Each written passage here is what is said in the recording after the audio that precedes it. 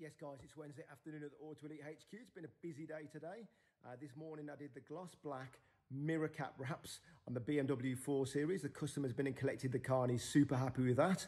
Uh, I've been to the opticians to get my prescriptions altered for my contact lenses and I've just finished installing this two-channel 4K BlackVue dash cam.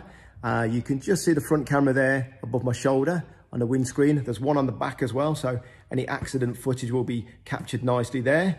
Uh, I'm now going to jump on a Starline S96 uh, alarm tracking and mobilizer system. Uh, six o'clock, I'm going to head off to the studio. I've got a DJ Cut Loose midweek hype set to do on Mixcloud, so it's all go here, no stopping. Hope you guys are cool, and I'll see you later. Take it easy.